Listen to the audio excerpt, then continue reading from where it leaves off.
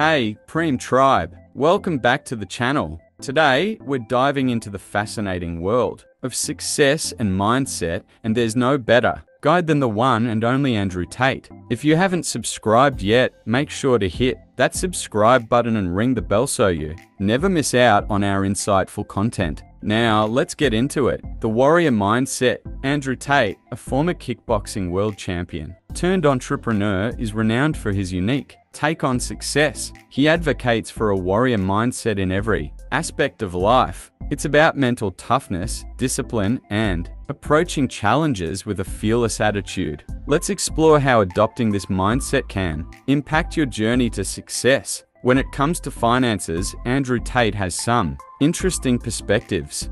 He believes in making your money work for you and achieving financial independence, whether it's through investments, entrepreneurship, or strategic decision making. Tate's approach to wealth building is as unconventional as it is effective. Let's break down some of the key principles he emphasizes fitness and health insights. Of course, we can't talk about Andrew Tate without touching on fitness. His dedication to health and well-being is a crucial part of his success philosophy. From workout routines to the mental benefits of staying fit, let's uncover how his approach to fitness intertwines with his overall mindset, controversies, and criticisms. Now, as with any public figure, Andrew Tate has faced his fair share of controversies and criticisms. It's important to approach his teachings with a critical eye. Today, we'll address some of the controversies surrounding him and provide a balanced perspective. After all, no one is without their critics. Success stories and case studies. Let's shift our focus to success stories. There are numerous individuals who credit Andrew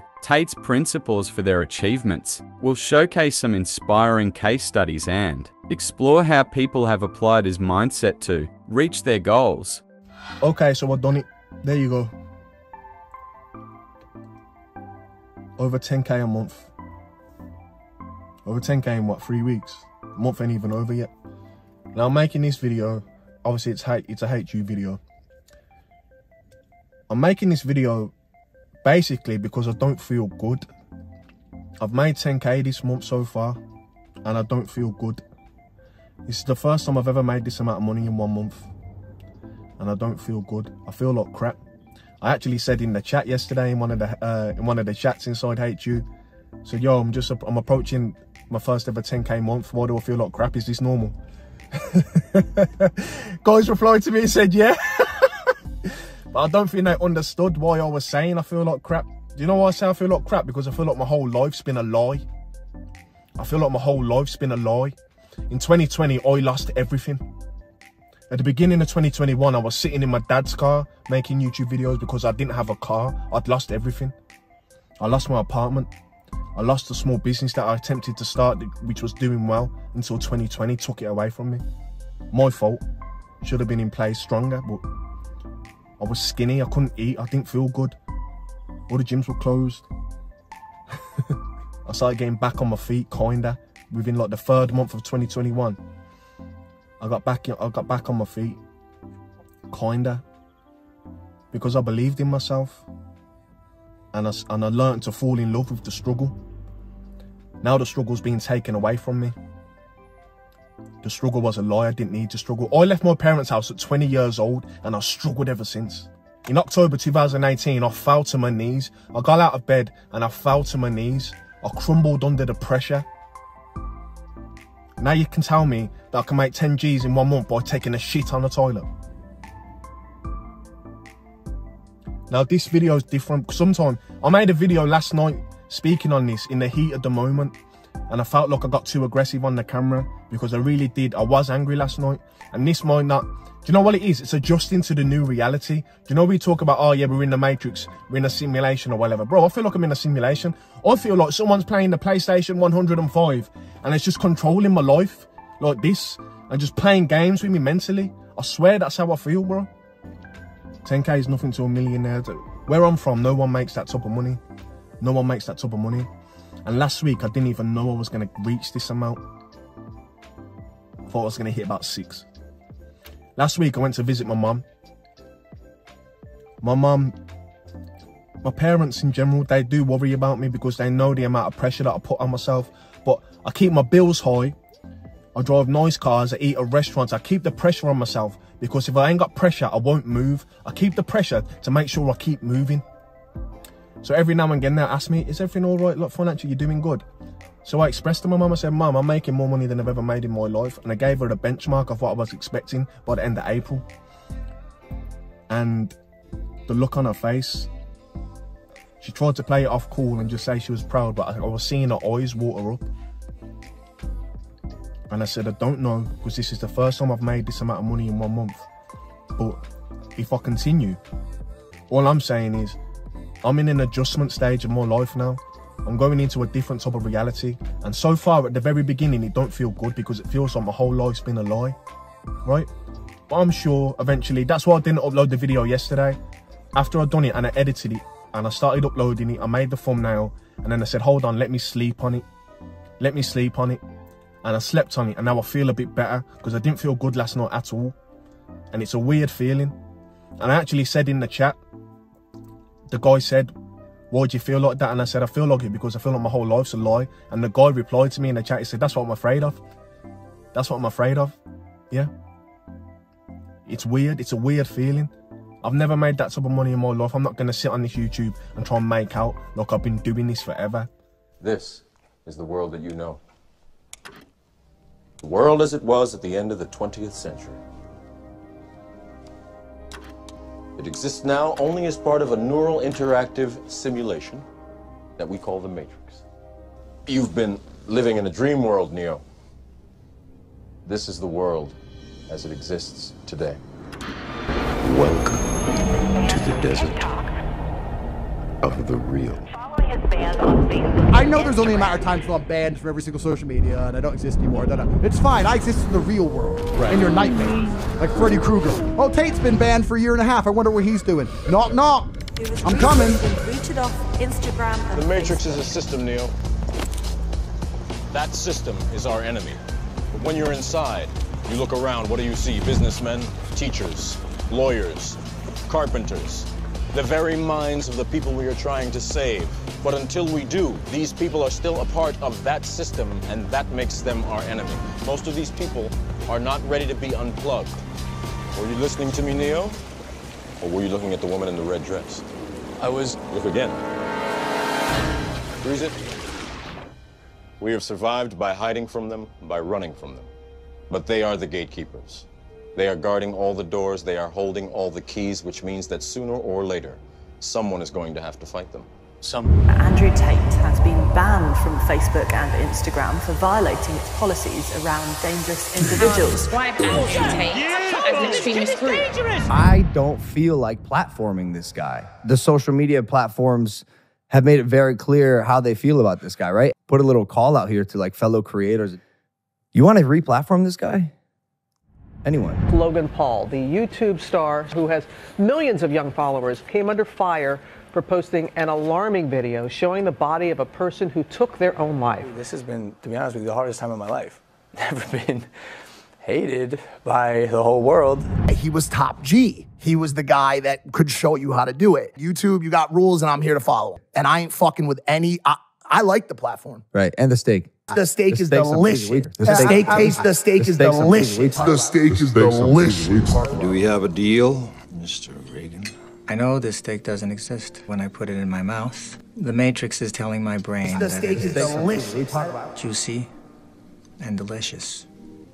You know what I realize?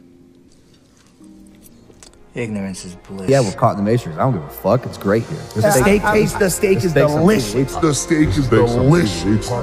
Then we have a deal. As much as he talks about being outside of the matrix, now you're outside the club and we hear you complaining that you can't get in.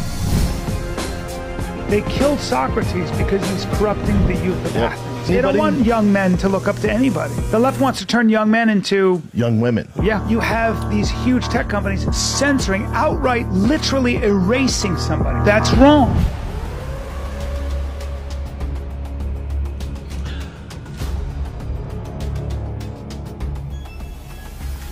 This is stage one of a three step. plan. There's nothing I can say that will explain it for you, Neo.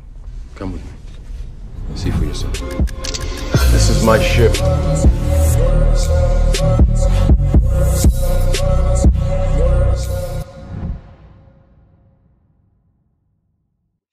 Andrew Tate is not only a warrior in the physical and financial realms, but also on the digital battlefield. His online presence is a unique blend of wisdom, controversy, and unfiltered authenticity. Today, we'll take a closer look at how he navigates the online world and the impact it has on his audience. What would you say to brothers who don't get along like we? Why do you think we get along and other brothers don't get along as well as you and I? I think me and you both find it hard to uh, make friends with people who don't share our mindset, and hard to find people who share our mindset in general. I think that brothers who don't work well together um, really need to reevaluate their life choices. Because you have to understand, even if you don't like your brother very much, who else but your brother are you going to trust? Around your women, around your money? I'm a professional kickboxer and a business owner. I like to get things done. I like to get things done properly. I have no time for people who like to faff around, mess around, and disobey the rules. When I grew up, I had a very strict father who was in the US military. Uh, the emphasis was very much on work and education, uh, which is why today I'd prefer to work and then go out, and get drunk, and throw up in the streets like everybody else. Why I think I fight? Do I enjoy it? No. Do I enjoy training? No. Do I enjoy cutting weight? No. Am I nervous? Yes. Do I think to myself, what am I doing? Yes. Completely. Unfortunately, it's one of those things you're either born with or not. And the only way I can explain it to try and make it make any sense is that if I'm not doing something which is either extremely difficult or extremely stressful, I'm in a perpetual state of crippling boredom. I can't explain it. I see other people live their lives and they're like, oh, I can't wait for the weekend because I want to watch this movie. I think who cares about a movie? You're looking forward to the weekend for a movie? Looking forward to the weekend to get drunk? Like these things to me are so mundane. They mean nothing. And if I don't fight, if I'm not in a situation where I'm stressed or worried or concerned, I'm just perpetually bored. And boredom's crippling. If you're an intelligent person and you've got a good brain on your shoulders, you can't just sit there bored. So most smart people take the academic route to avoid boredom. They learn, learn, learn, learn, learn. But that's never really interested either. Although I've always been an intelligent guy and always done well academically, it, was, it never really interested me. And then I see people climb Mount Everest or jump off buildings or do base jumping. The guy who jumped from space, people think, what's he doing? He's crazy. I understand. Because some people can't live normal lives. Some people cannot just function, nine to five office job, get drunk at the weekends. That is not for some individuals and it's not for me. So I have to find something which keeps me physically tired enough to stop me going AWOL um, and mentally tired enough. And I've chosen fighting because without this, when I'm not in training, I wake up every day and think, okay, what am I gonna do today? It's 9 a.m. on Tuesday, I'm bored, everyone's at work, I'm bored, and I'll end up doing something crazy. I'll either end up drunk or on the Eurostar, or, you know, it's just it's just a random lifestyle because I'm constantly looking for never-ending entertainment and it doesn't exist. I think the only thing that could stop me fighting is if I had enough money to constantly entertain myself. Unless I'm a billionaire, I need something that keeps me focused and keeps me occupied in life. With fighting, I have to train twice a day and I have to train hard. And the stress can the stress it brings in every aspect can replace fun. My mind is occupied. It occupies me. It's the only way I can try and explain it. It occupies me. And I could never stop doing this even if I lost 100 fights. Because I'm not built to live a normal existence. I can't do it. I couldn't just have a kid, some girl, and sit at home and work a little bit and relax. I've, I've never relaxed my entire life. I don't know what relaxing is. It's just not me.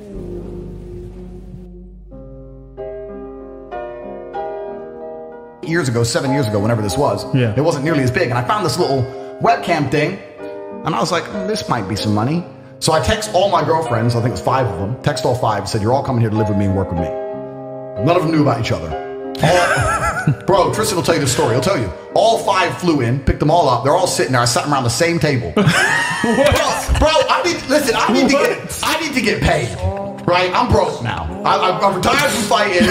I have no money. I'm running out of money. So I put them all around the same table, and I was like, "Look, we're gonna start a webcam business. You're gonna stay. You're gonna live in London. I'm gonna look after you, and we're gonna get rich, rich. We're gonna be a team." And they're all like, "Well, who's this bitch?" I'm like, "She's my girlfriend. She's my girlfriend. She's my girl. You're all my chicks, oh. and you're gonna stay here, and we're gonna make some money." Big fight kicks off. Blah blah blah blah blah. In the end, long story short, three left, two stayed. Those are my first two girls, and we started this little webcam business from my apartment. And it just grew and grew and grew, and it got to the point where at one point I had 75 women working for me in four locations, and I was doing $600,000 a month from webcams. They're genuinely dangerous. This is what's crazy. All these people who talk about toxic masculinity and how bad it is for men to be traditionally masculine. A traditionally masculine man does things he doesn't feel like doing because it is his duty to do them. He charges into the burning building because it is his duty, not because he feels like it, because it is his duty. We're now teaching the new generation of men that they don't have duty and they can just act on their feelings and act how they feel and they don't have to act as a man should. Do you know what happens when you get men who just act how they feel? You get school shooters, you get violence, you get rapists. Men who do not control their emotions are dangerous. If you find a man who is stoic, he's not going to hurt people. He's going to sit and think about his actions very carefully, and he's going to be a good man who protects for and provides for his family. You find a man who just acts out on impulse and does whatever he feels like, you're going to find a dangerous man. Sitting here telling men to cry more and act with their feelings, and it's okay to feel this way, that way, etc., and have no self control. That is why we have the problems we have in the world. Look at me. I was the most Googled fucking man on the planet. Have I sold a trash energy drink like Logan Paul with their prime energy drink bullshit? No. Have I sold a fucking crypto pump and dump scam like fucking Logan Paul and their bullshit? No. Have I sold a fucking NFT? No. I haven't fucking scammed nobody. I could have made a fucking half a billion dollars. And I thought, you know what? The idea of some 18 year old kid putting his life savings into some fucking trash so I can make my, uh, hundreds of millions of dollars, I don't want to do that. That will upset God. And if I would have done that, who knows where I'll be today? I might have half a billion dollars. I might have gotten a car crash. Who fucking knows? I know right now my life's good. I, I sit there and I live with a, I have a genuine moral compass. Of course I'm his favorite. They've already given me quite a few warnings. And I'm now at the point where I actually truly believe they're going to try and kill me. I, I, so you've had messages from people trying to control you who you think would kill you. I understand that you get three strikes in this game. Strike one is they try and shut you up and discredit you, which I've just been through. Strike two is they try and put you in jail for no reason. And strike three is they kill you. And one of my strikes is now gone, and I now firmly believe that they're going to try and kill me because they want me to be quiet, and I'm not being quiet.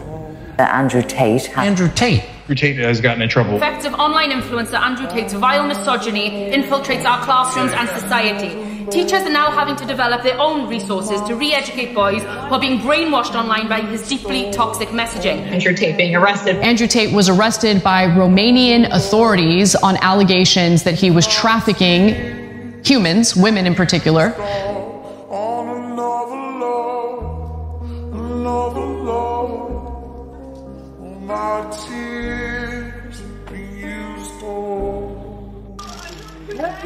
Ask them for evidence, and they will give you none, because it doesn't exist. You'll find out the truth of this case soon. What on earth, even in a million years of your wildest dreams, made you think you were gonna stop Andrew Tate? We don't stop. Do I look canceled? Matrix is attacking this stream as we speak. The Matrix is afraid. Tristan, they fired their biggest weapon at us. They looked at us and thought they have too much power, too much influence. Let's hit them with the most powerful weapon we have. Let's cancel them. Let's close all their accounts. Let's make them vanish. Let's, let's destroy their influence. That's the biggest bullet they have. Imagine shooting a man with your last bullet and he stands there, unfazed. I was watching a, a, podcast from Andrew Tate, and he was talking about how women use men, and that's when my eyes opened. Thank you for inviting me. That's good. Second of all, um, you changed my life. Andrew Tate has personally saved my life. This quote that I heard from Andrew Tate that quite literally changed my life. Andrew Tate and Tristan Tate changed my life. But Andrew Tate, we're a light at the end of the tunnel. I'm telling you, God, that the guy is different. The guy is different. And they're trying to cancel my guy, saying he's a he's a bad uh, influence on, on young men. No, he's not, bro. No, he's not. He's innocent, and here I am again, coming from somebody who lived with him for years. He is not a human trafficker. He would never rape anybody, and he would certainly never ever human traffic anyone either, including his brother. They would never do such thing. I am just so shocked, and I'm so fed up. I got to his house, and he was very hospitable, very friendly. He showed us around. He was very respectful. I didn't feel uncomfortable. He was very nice, very friendly. He was very funny.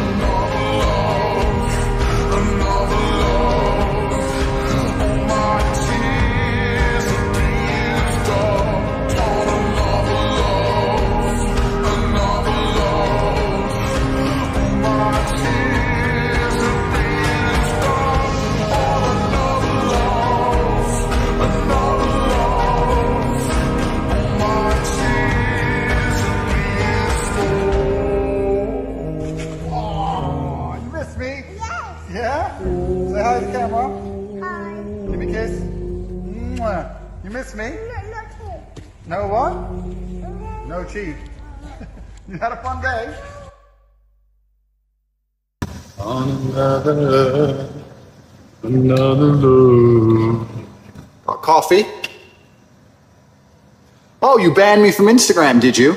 Still on private jets, motherfucker. I'm still traveling the world. I'm still top G. You can ban me? You can't ban me. I'm back with a vengeance. Before we wrap up, I want to hear from you. Have you adopted any of Andrew Tate's principles? In your life, what results have you seen? Drop your thoughts in the comments below and let's spark a conversation within the Priime tribe. That's a wrap for today's exploration of the Andrew Tate mindset. Whether you agree or disagree with his philosophy, there's no denying the impact he's had on those who resonate with his teachings. Remember, success is a personal journey, and the key is finding what works for you. If you enjoyed this video, give it a thumbs up and don't forget to subscribe for more content like this. Until next time, stay Priime.